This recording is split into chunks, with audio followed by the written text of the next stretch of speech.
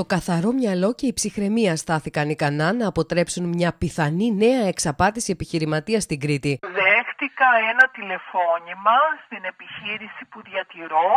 Μου έδωσε ονοματεπώνυμο, μου είπε ότι είναι υπάλληλος της τράπεζας στα Γιοντάρια και μου είπε ότι υπάρχει μία επιδότηση από την ε, Ευρωπαϊκή Ένωση, από το ΕΣΠΑ, για την οποία εγώ δεν είχα ενημερωθεί ε, και ότι ο φάκελός μου γύρισε πίσω. Να σημειωθεί πως το τηλέφωνο από το οποίο κάλεσε ο δράστης στη γυναίκα κυκλοφορεί στο διαδίκτυο με την υποσημείωση πως πρόκειται για απάτη. Ο θρασίτατος απατεώνας ζήτησε από τη γυναίκα προκειμένου να τη βοηθήσει να του καταθέσει τη σφραγίδα του καταστήματός της, την ταυτότητά της και 9.000 ευρώ. Του είπα λοιπόν να έρθω στην τράπεζα που είστε, να καταθέσω το ποσό και να εκταμιευτεί αμέσως και να γίνει η διαδικασία.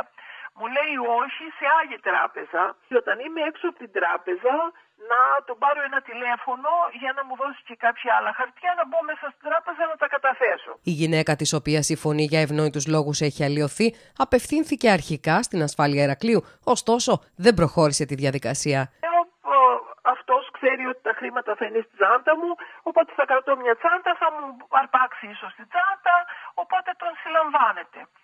Ε, λέει η ασφάλεια που μιλούσαμε, η ασφάλεια δεν μπορεί να κάνει αυτή την ε, κίνηση.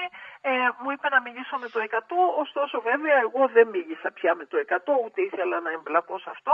Την προσοχή πολιτών και επαγγελματιών εφιστά ο πρόεδρος του Εμπορικού Επιμελητηρίου. Εμείς συστήνουμε και στα μέλη μας και στους ιδιώτες να είναι ιδιαίτερα προσεκτικοί από οτιδήποτε, να διασταυρώνουν τα στοιχεία όλα τα οποία έχουν και μην προβαίνουν σε καμία πληρωμή